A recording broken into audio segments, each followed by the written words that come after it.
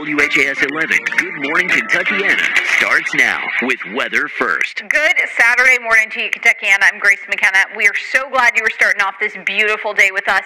You may be asking yourself, where in the world is Reed Yadon? And he is likely about to be getting Christina here in a helicopter somewhere. The most interesting man Yeah. in Kentucky stays interesting. So we have Of you course. gracing us with our presence. today. Yeah, well, thank you for having me. Reed is somewhere out west. Now, I know he's been really good about filling us all in on Twitter, so we'll have Yeah. to get an update from him over the course of the morning. But it is going to be a gorgeous afternoon for us, and even out the door right now, it feels pretty refreshing in most spots. Now, we are still holding on to the lower 70s at Louisville International Airport, but outside of the city, it's feeling pretty crisp as you step out the door, and we're going to see that humidity lower as we head into this afternoon. We do still have dew points in the lower 60s, but I do